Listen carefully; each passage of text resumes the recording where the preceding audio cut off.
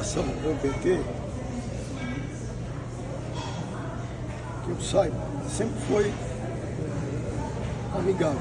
Eu nunca vi o PT fora ser um adversário político. Nunca fiz nenhum tipo de comentário jacoso, constrangedor ao partido. O ano passado eu defini e assinei um documento de apoio ao Lula. Então, não é a primeira vez, nem será a última que eu vou apoiar o PT. Outra questão de escolher o PT, eu escolhi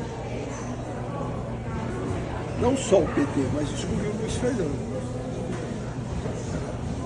E se o PT tivesse um candidato que o perfil não me agradasse, em termos de transformação, pode ser que eu não apoiasse ninguém. Mas então o senhor é, é, é crítico?